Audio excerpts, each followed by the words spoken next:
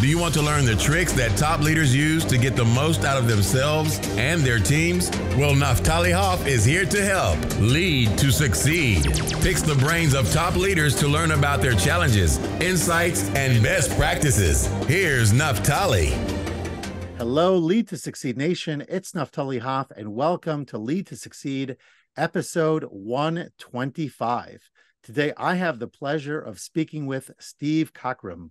Steve is an inspirational communicator, serial entrepreneur, author, and confidant to elite leaders around the world.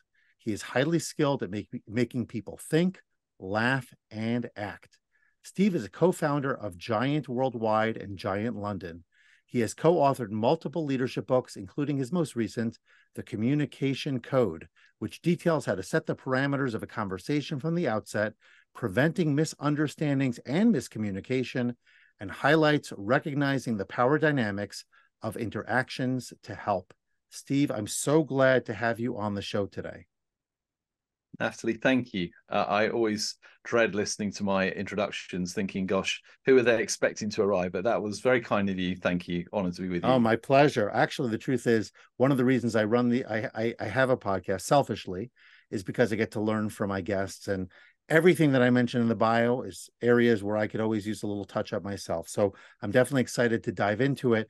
And one of the things I like to ask my guests at the beginning to set the stage for our conversation is the backstory. You know, how did you get to where you are? I don't think most you go into a regular kindergarten, um, primary school, you ask kids what they want to be when they grow up. Very few of them say leadership consultant. So the question became, how did you get here? What is your process? And why specifically, or how specifically did you get into the people management, the soft skills, all that, which we will talk about? How specifically yep. did you land in this area? Uh, the, the, overarching answer would be through trial and error and getting it wrong, Naphtali. But um, I'm a mutt in the sense of going, nobody would ever have a similar resume background to me. I've been um, a school teacher a hmm. pastor, mm. a nightclub owner, um, a consultant in nonprofit world, a consultant in the commercial world, and effectively latterly more an author, speaker, and um, SaaS entrepreneur. So you can take your pick of any of those, but all of them really shapes who you are, as you say. But nobody would ever look at it at the time and think these strands would actually become incredibly useful and valuable in the thing that I do now. So yeah, that's my background. I've I've been married for 31 years. That's probably the single greatest achievement I have, and I'm very grateful to Helen for that. And we have three girls, and uh, who are 23, 19, and 12. I must be wow. getting old. Um, and yeah. yeah, and and live in London. So there you go. I hope that gives a little bit of context to who you're talking it to. certainly does. But I I will tell you those first three. I think it was first three that you listed there. I think you said educator, pastor, and nightclub owner. So that is interesting. I'm a I'm a former educator. Um, I do have rabbinic yes. ordination. I was I wasn't a pastor. I wasn't even a, a, congregational rabbi, but I do have, like I said, ordination, and certainly had that title in a lot of my professional work. Never went the nightclub route. So just curious to know how did you, how did you number one kind of meander or what make your way through those different areas, and how did that ultimately bring you to where you are now? So, in a sense, the nightclub was tied to um, the church that I was one of the younger pastors of, in that we opened a bar nightclub in central Manchester that had a 1200 capacity on four floors. Um, we broke every rule I've come to know about how startups should function. We raised uh, close to a million pounds from 126 families in the church who had a heart largely for their grandchildren and children that were in nightclubs. Um, still believe in the model in the sense we became part of the fabric and scene and we've you know we won awards from the police and the drugs agencies but we never managed to find a business model which actually worked i think if you're not um, laundering money or selling drugs it's really hard to make the nightclub industry work from my mm. experience so mm-hmm. that was the low point um, mm-hmm. i went from concept fundraise opening administration chapter 11 um, and then final closing all in the space of three years. And uh, mm. I say I mm. did the most expensive MBA ever. I think it cost wow. in the end about two million pounds um, of other people's money, and I think that was wow. the the moment when somebody said to me, Steve, we're going to pay for you to go away and study two things in Oxford. And they were both about personality. And I'd never heard of any of them. One was called Myers Briggs, the other was called FIRO-B. Mm. Um, and I said, Well, I've got nothing much on at the moment. Um, and they said, It's not for you, Steve. It's primarily for your wife. Mm-hmm. And I went, mm-hmm. I was 33 years old, and uh, it was jaw dropping in the sense of how predictable human behavior was and how unemotionally intelligent I'd probably been for the previous 33 years. So the next 20 mm-hmm. years, Naphtali, have been, you know, it is, if you'd ask any of my friends at age 30 who would be an international guru on relational intelligence, uh, mm-hmm. my name would not have been in the top 100 of their 100 friends. So mm-hmm. in a sense, I think, um, I think Henry Nouwen wrote the book, The Wounded Healer, and he said that mm-hmm. basically the place we often have the greatest empathy for other people's struggles and challenges of when we ourselves have been through it. So, mm-hmm. in a sense, the journey towards helping others make different mistakes from the ones we'd already made and the codification of those in simple visual tools that educated children could understand because we wanted in many ways for jeremy and i as sort of business partners we wanted the things we learned mm-hmm. to not just to shape the academic world but to actually for ordinary people in their everyday lives trying to make relationships work in their homes their families their teams to have some tools that would enable them to be far more effective at doing relationships because mm-hmm. most people's pain comes because they're unable to make relationships work even when they try hard and that causes a lot of fracture a lot of dislocation a lot of pain and um, ultimately impacts society at a pretty profound level yeah. I mean, I do want to talk more about relationships in a moment. It is interesting. You talked, it, to use my terminology, the school, the school of hard knocks, you know, the, mm-hmm. the fact that, that oftentimes life is, is really the greatest teacher. Um, yeah. My first book, which is Becoming the New Boss, was written really as a reflection in many ways. It's not a memoir, but it's a reflection yeah. of my experiences as a head of school, as a new head of school, and the challenges that I encountered in that process. Not everything was terrible. There was a lot of really good that happened as well, but I definitely made a lot of mistakes. And I use that to write about it in the book and, and my work as a as a leadership coach as well, a performance coach, to help people to avoid many of the landmines that I encountered personally in the process of trying to do a good job and help other people and things like that.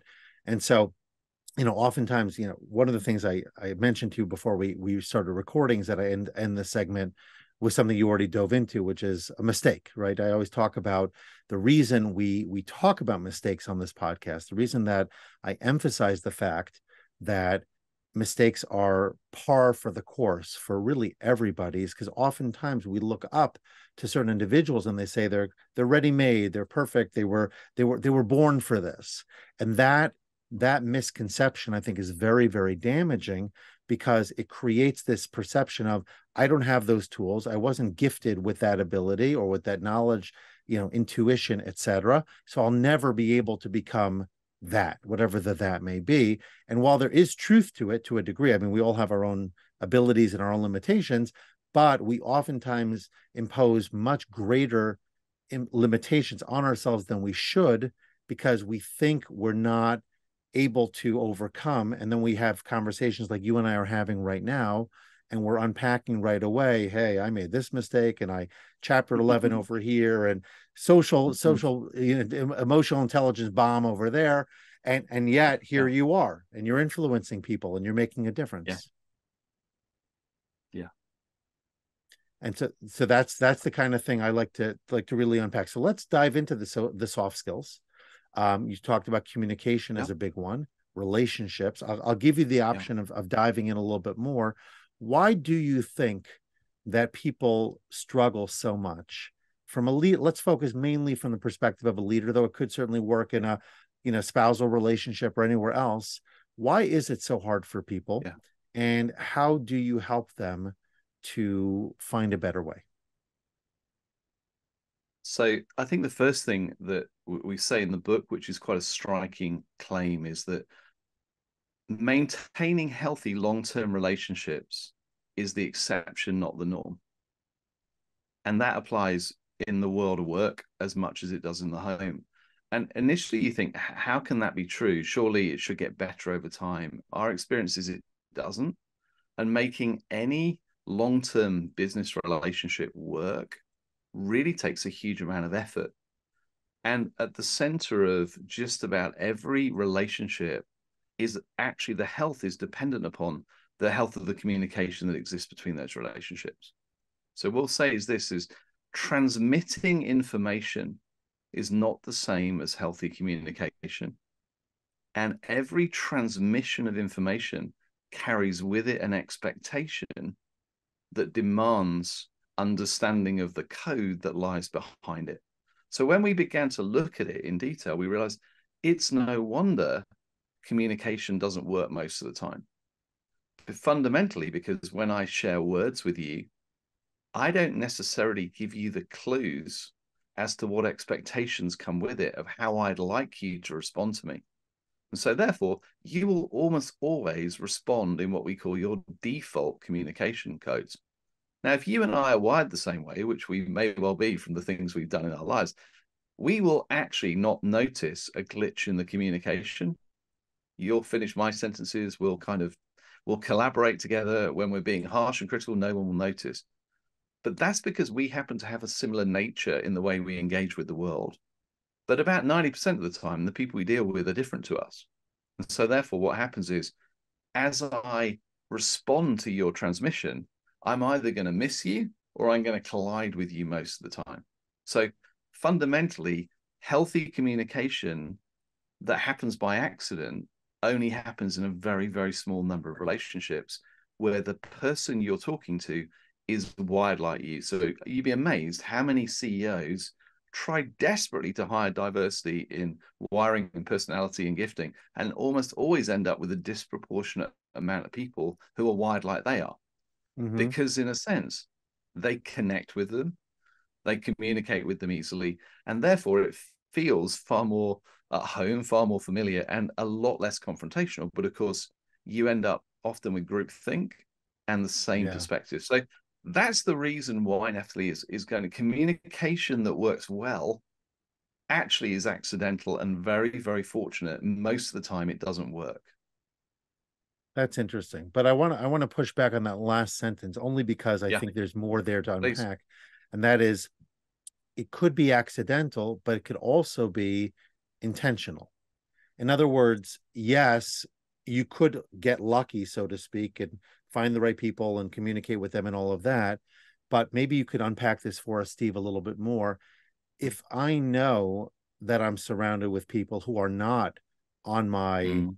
Let's say, wavelength or frequency, yep. I, I, think it's a great metaphor, by the way, because mm-hmm. if in fact, you know, like my kids got walkie talkies and whatnot. So when they're not on the right, the right frequency, you could tell, right? The message doesn't come yes. through or it comes through at a high pitch or whatever the issues are with with yeah. with regular interaction you don't have those warning signs it doesn't come it doesn't come across that way so you need additional intuition yes. you also need additional intention in your communication so what what what are some of the things you coach leaders to do when they're talking inevitably and invariably and consistently with people who aren't of the same mindset as themselves yeah that's a great question. So I think the first thing you have to acknowledge that transmission is not the same as communication. A lot of leaders share information in email or company video or even talking to their group and assume because they've transmitted words, communication has happened. Once you understand that that's not necessarily true, you're halfway there. Then the question we found is, and you highlighted it before, is we can become a lot more intentional in how we communicate by sending the code of how to interpret our transmission ahead of the information. And that, that's really what the communication codes are. So, you know, I'll give you the Cliff Note version, but there's it's it's almost like going, if I can tell you how I'd like you to respond to the transmission, so you have clues, then you can choose to relate and connect, and we have a much better chance. So the first code is critique. I may say to you, Naphtali, look, this is about to go live today. Um, please, where's the mistakes in it? Do the due diligence, ask the difficult questions. It's going to be really costly to pull this release back if something's wrong. So you won't hurt my feelings. I'm really inviting you to fully critique this because we're ready to go. Collaboration is number two. So to collaborate, if I said, Naphtali, um, I, I want us to collaborate on this. Um, I think I've got something that's really good so far, but I want you to add your knowledge, skills, and expertise because I believe that together we can come up with something that's better than what I can come up with on my own. So full collaboration invited to you. The third one is clarify, where I might say to you, um, I'm going to share something with you, you know, Naphtali, but what comes out first probably isn't going to be my fully thought through, considered view. Will you ask a few good questions, pull on what I'm saying until actually um, I've I've really got out what I'm trying to say, and then we can maybe go into collaboration or even critique. But please clarify first. The, the fourth one is care. And care says this I might say this to you look, I just need a safe place with the relationship I trust. Um, I'm so frustrated or I'm worn out, and I'm I'm going to share my frustrations with certain individuals or certain commercial situations that have happened. I need a safe place that for me I can let off a few frustration grenades. I can probably swear a little. I can say things that are inappropriate. I don't mean it. I don't want you to judge me on what I say, and I don't need you to solve me. I just need you to listen and be a kind of a confidant friend and to care is the way we do that. And then the last one is celebrate, where I may say, Hey, Naphtali, we, this is amazing. I know we're not very good at this, but this is really important to me. When we won that big deal, um, we've been working out for six months. It's going to make a big difference to the company. We're going to go out for, you know, drinks at lunchtime. And I want us to spend at least half an hour with the team celebrating that this was a big moment, not your usual deal of a couple of minutes, then move on to how we make it better. So those five codes of critique, collaborate, clarify, care, and celebrate may sound like quite simple, but the difference when I'm about to say, hey, Naphtali, before I share this with you, I'm inviting you, can you clarify first? And then I'm going to invite you to collaborate with me. What happens then is you understand the expectation which comes with the transmission of information. Now, in team meetings, this is huge because we put this vocabulary language into some of the biggest companies in the world. And they all say the same thing is it means we hear each other. And occasionally I will still get it wrong. My default communication code, my accidental me, is collaborate and critique. but the difference is now, Jeremy will say to me sometimes, my business partner says, Hey, Steve, um, this feels more like critique than collaborate. Can you kind of tone it down a little? I'm like, oh, I'm sorry. Or he'll say, hey, right now, I just I don't need you to solve me, Steve. I don't need you to be the consultant. I just need a safe place to talk out loud and get the poison out because otherwise I'm going to kill somebody. So that's the heart that lies behind it, which basically means you can now communicate more effectively with anybody because you've got much more chance the way you respond will match the unspoken expectations because that person has given you a code to interpret the transmission of information. Yeah. Wow. okay. I did take some notes on that one because there was quite a bit there. I um, thought you, you might. Know, the, Sorry. The, the the former educator. Well, I, I, still do educational coaching, so I'm still in that space. And yeah. um, I, I heard a few different things. Number one, I often tell teachers that their their professional title is is misleading because the word teach does imply to many the dissemination of information of content i said your goal is to be a facilitator of learning and the difference yeah. is that you haven't taught effectively unless learning has occurred and you, right. you you you you you hit on that because you talked about the fact that i might communicate and maybe i've got this seemingly great way for uh, uh of which i'm going to do it memo video etc but the learning is ultimately or the the intake is ultimately the goal and so yeah. leaders need to be mindful of the fact that just because i put it out there for the world to hear doesn't necessarily mean people got it people yeah. internalized it in fact interestingly enough when i used to do classroom walkthroughs which would be mm-hmm. observations and then i do a write up i would send it to the teacher and oftentimes got no response Then mm. what I started to do was invite them in before I did the write up and say, explain to me this, help me understand that, let's talk about this. And then I would write it up afterwards. And that was much more of a collaborative process. So mm-hmm. that was a way by which to take what I wanted mm-hmm. them to to internalize, but rather make it more about them than about me. And then they owned it. Another thing you talked about in my language, again, translating is demystification. Yeah. So, yeah, exactly. you know, when when when as a student, I don't, you know, a teacher needs to demystify the learning process, the expectations, if the student's going to get the very much, the very best out of the class. And in your case, what you were describing, I think, is when you tell people as the leader, this is what I want out of you in response to what I share with you. Number mm-hmm. one, you're giving them a pathway forward. They have a better sense of how to respond. But number two, they're internalizing it from the beginning knowing what you're asking them to produce in response. So that Absolutely. actually makes the communication much more effective because it's much yeah. more targeted. If I, if I, you know, I used to, when I went to, when I, when I pursued a doctorate, um, I had two types of professors. One would say, here's a, a 40, 80 page article, read it and, and, and, and share your thoughts. The other one was, here's the same length article. Here are two or three questions to respond to. And I always found the second version much easier to work with because I had a focus. I, I wasn't just open ended.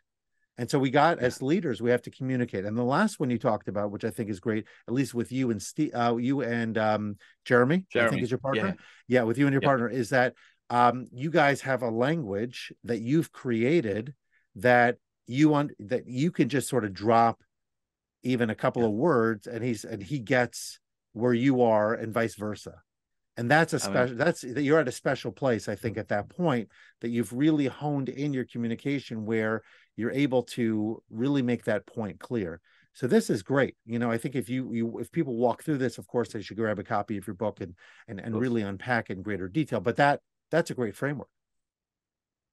I think the thing is we, we try to design everything for educated teenagers so we mm. had a principle which was if an educated 13 year old couldn't understand it, use it, and teach it to their friends, it was too complicated for leaders in the digital world. Because it doesn't matter how good the learning moment is in the classroom or the online workshop. If you, we, we said, if it isn't visual, interactive with a media application, it just gets blown away in this tsunami of tasks, emails, calls, and everything else. So it, it's I always say to people is it takes a lot of time to make the complex simple without making it simplistic. And and that's the bit where people look at it and go, five C's, how on the earth can that be? I could use that tomorrow. And I go, you can. And just that, I think to your point, just being aware that transmission is not the same as communication. But the other thing is, I don't have to give you a book to be better at listening to you. So I may say, hey, Naphtali, hey, before I respond, what are you hoping happens here? Are you just wanting me to, you know, be a good friend and listen and be with you? Are you, you are you asking me to kind of ask good questions, or are you really asking me to kind of help make this better? G- give me some sense of what your hope is from how you'd like me to respond. So I haven't taught you the communication codes at this point, but what I have done is I've demonstrated an empathetic ability to actually be able to say, hey, before I launch into what I think you might want me to do, I'm going to check because nobody feels when somebody hears you, understands you, and takes the time to really value the contribution you're trying to bring, everything changes. You asked earlier, you know, what was your biggest failure? And I nearly told you, well, I told you one. I, the one I would have said actually was in the beginning, I thought silence in the team meeting was agreement through my early career. I thought if people were, I'd ask people their opinions, and silence I thought was agreement. And it turns out it wasn't. It turns out that basically people were afraid of my critique. And in the way I'm wired, that is carried as a, what we call a grenade launcher. So when I turn around and say, has anyone got a better idea than my genius strategy I've just shared with you? I'm really not looking for anything other than celebration. mm-hmm. I wasn't really looking for them to critique or collaborate because I thought I had all the answers. And once you've blown up somebody for challenging, nobody else wants to play. So that was yeah. uh, so a lot of leaders, I say, particularly the highly driven, highly strategic, forceful personalities, one of the things with communication is you have to create the environment where people feel safe enough to challenge but they'll always do it if you give them the invitation to collaboration or even the invitation to critique with a clear definition of what that means and a commitment on your part that it's what you're actually asking for. Mm-hmm. Mm-hmm. and I do like that piece also because oftentimes you talked about earlier in this last little uh, segment about listening and asking the question, "What is my role?" You know, and and and sometimes we all we all think it, and we think about it all the time because the roles change. Even if I have a title, it doesn't mean that the role is the same, but it varies by the individual I'm talking with, the circumstances, etc., and clarifying what the individual who's speaking with you and is typically asking something of you really wants from you is mm-hmm. important too, especially if you don't have the language yet and you're just trying to figure it out. And I would say, even for those of for those folks who are listening who may not sit at the very top of the perch, but they have leadership responsibilities, but they report up as well. Leading mm-hmm. up is a critical piece, right? So we we want to make sure that we can serve other people, and sometimes they need to tell us what that looks like, and they don't. And so we need to ask them, what is it that I can do here that would be most helpful to you? And when you put Absolutely. it that way, not only will you get the best response, but the, the leader will say, wow, this person really listens to me. This person really values me, which only builds the relationship and the communication more. Your listening skills are outstanding, Naphtali. Uh, it's it's almost like you're a pro at this. I I, yeah. I think one of the things we do in organizations is to go, if you if you want to build a healthy culture, culture is like quite an amorphous word, but everyone knows it's important. We always say to people is if you ask the the anthropologists Mm-hmm. They'll always tell you that basically um, culture is created through common vocabulary or words that come to mean the same thing at the same time at the same place with the same people. Mm. And we took it a stage further to go, okay, that's good. But if we're in a visual uh, world now, people remember what they see, not what they read. If we can create uh, visual tools, communication code being an example of one of them, that creates an objective common language it takes away a lot of the conflict that often happens when I go, hey, you're not doing X or Y. And when a whole team or a whole organization or a whole company, and this is the advantage of technology and platforms and the things which create scale, you begin to create a common vocabulary for how you do people, how you do teams, and how you'll find if you go to, you know, we've got about a thousand independent consultants around the world who work with us so I don't know how many clients that would represent now, but you'll go in, it's almost like people have joined a cult because they all you you'll hear them using the vocabulary of five voices, the vocabulary communication gears, all the things we've created over the years to do exactly what you just described, which is to go, can we create healthier communication and collaboration? The way you do that is when you can use short form vocabulary or language that everyone understands what it means. And actually, when people come in, they go, "Oh, you have a you have a language for how you do people and relational intelligence, and it's really powerful." They have it for other things. You know, if you you go into kind of IT services, Scrum, you know, and the way Scrum masters work, the vocabulary is the same. Every profession has a vocabulary. The question is, can we create a vocabulary language which works across the spheres of culture that means you can do people and relationships better everywhere. That's our intent. That was our hope um, in what it is we've been doing. Wonderful, and I th- I think it's it's as needed now as ever. Um, you know, the more digitized we become, the more human we need to re become, so to speak, and, and, and reinvoke. Right. And I think people, despite all the tools we have at our disposal, are still hungry for that connection. So this is really great, and I really hope that people will check out your system in greater detail and all of that. And we're gonna we're gonna Thank talk you. soon about how they could reach out to you. But in the meantime, I am gonna pivot to the rapid fire where Come the on. answers are short. What was that?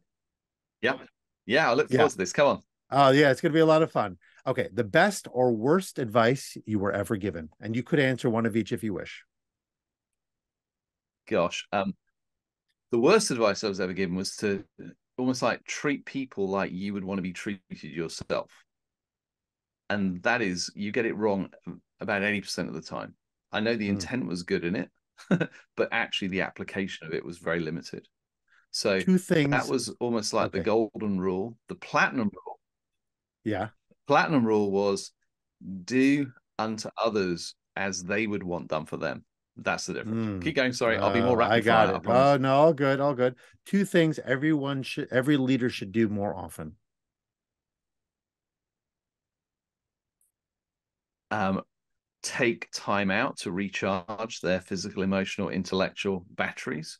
If you Mhm. don't have a first gear strategy, you'll in the end become less effective in relationships and performance. And the second one is to remember that when you die, nobody is going to speak a lot about the work you did. They're going to speak about the person you were. And that's the thing that people remember. Love it. Something about Brits that few people know. that we our addiction to housing comes from the Middle Ages and feudalism. So every Brit dreamt of having their own small little home because an Englishman's home was his castle, and very few people owned any land. So every American has a 401k they watch perpetually. Every Brit dreams of paying off their mortgage and potentially having a rental property. Oh, interesting. Okay. A quote that you live by or think about often. Gosh, um, it's it's the Theodore Roosevelt one. It's a classic pioneer. He says it's not the critic who counts, not the man who points out how the strong man stumbles or where the doer of deeds could have done better.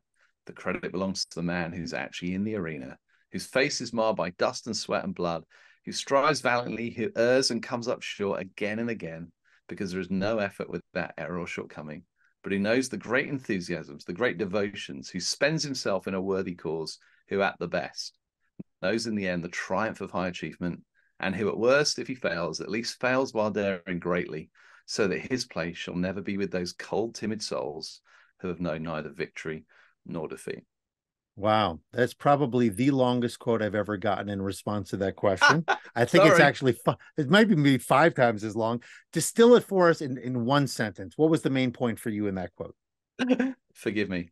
It's basically the sense of going, if I'm going to fail, I'm going to fail while daring greatly, rather than be counted among those other cold, timid souls who never risked it all and have never known either great victory nor crushing defeat. I think we're going to have to put that on the internet under Steve Cockram. That we're going to have to do. That Well, I last think one. Theodore Theodore might have a. At least he's been gone seventy. Not the years. first part, the summer, the summarized version. The summarized There we go. Okay, Well, the last thank one. you. Sure. A productivity tip that helps you to get more done, Steve. Um, we wrote an entire book on this called Five Gears, but learning to be present at the in the right way at the right time with the right people. You can't get more time, but you can appear a lot more relationally intelligent if you choose how you're going to show up before you enter every social engagement. Mm. Okay, so before we wrap up, let everybody know how they can reach out to you and to Jeremy, Sure. learn more about your work, and really benefit from the great the great things you guys are doing. Well, I, I guess kind of giantworldwide.com is the easiest website. There's plenty of, uh, and you can take a free communication code assessment to see how you're doing. Um, that's probably the easiest one. And just, you know, I, I love it when people reach out and if people go, Hey, I've got a question, or can I grab 20 minutes on your calendar? Steve Cockram on LinkedIn is probably the easiest way to kind of get hold of me. Um, so Steve Cockram, or if you want me to come speak anywhere, the stevecockram.com, which basically has um, all kinds of ways that you can go come and speak online, come and share, do what I do. So there's your three things giantworldwide.com, Steve Cockram on LinkedIn, or stevecockram.com as a speaking site. Awesome. Okay, well, you've shared a lot. I wish we could talk for longer, uh, but as they say, all good things must come to an end. But in the meantime, wrap up our session, please, with one final life lesson, something that you've distilled over all of your years that you think would Yeah. but just put a nice touch to the end of our conversation. So for leaders, you have to know yourself to lead yourself. You cannot lead others before you know what it's like to be on the other side of you. That's very powerful. I think I'm going to ruminate over that one for a little bit. Steve, it's been an absolute pleasure. I've learned a lot, and I thank you for spending some time with me today. Um, Pleasure. and and and and I and I'm sure people will be reaching out to you because you have a lot to offer. So thank you very much, and uh, continued success with all you do. Thank you, Naphtali, and to you. Thanks. Bye bye. Thanks so much for listening to this episode and for investing in yourself so that you can lead to succeed. Before you go, don't forget to subscribe, rate, and review the show. Your feedback gives the show more social proof and encourages more folks to listen.